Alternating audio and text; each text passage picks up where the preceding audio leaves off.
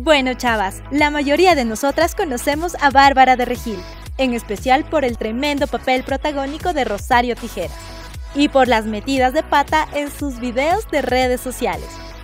Pero lo que nadie sabe es la verdad oculta detrás de su embarazo no esperado. Por eso aquí te va toda la sopa. Antes, no olvides seguirnos en nuestras redes sociales y suscribirte a nuestro canal. La actriz mexicana de 33 años, en una entrevista de TV Azteca, habló a calzón quitado de cómo se convirtió en madre soltera a los 16 años. Sí, como lo escuchas. Dijo que no quería ser mamá a tan temprana edad, pero como su vida era muy solitaria, sintió la necesidad de tener a esa bebé para que sea su compañía.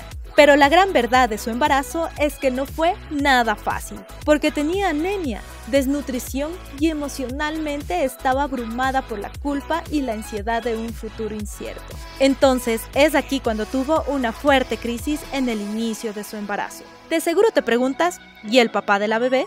Pues antes de platicarte del muy condenado, paremos un momento y si quieres conocer las bromas más pesadas que les hicieron a los famosos, dale clic aquí. El padre de la hija le jugó la peor de las traiciones. El muy canijo se fue una semana antes de que naciera la bebé con una amiga de Bárbara. La mexicana obviamente quedó devastada, pero prefirió ser madre y padre para amar a Alexa de Regil. Su familia no la apoyaba económicamente, así que trabajó como mesera un año y medio. Pero en la búsqueda de superación personal, Bárbara decidió estudiar idiomas. ¿Y qué crees? No le gustó para nada y abandonó el sueño de ser traductora. Pero como dicen por ahí, las cosas pasan por algo. Pues siguió los consejos de su abuelita y se aventó al mundo de la actuación, donde por fin encontró su destino. ¿Hubieras hecho lo mismo para sacar adelante a tu hija?